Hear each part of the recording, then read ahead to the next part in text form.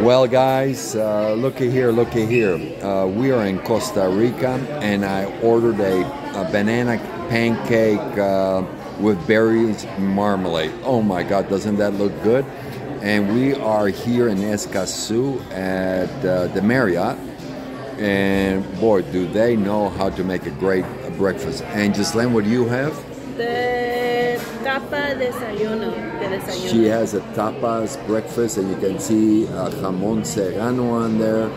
And yeah, so this is what we're doing. We're here at a meeting uh, to not only promote Nicaragua real estate team, but to learn new tricks on real estate uh, so we can sell more properties and find more properties for our clients. You all have an amazing day.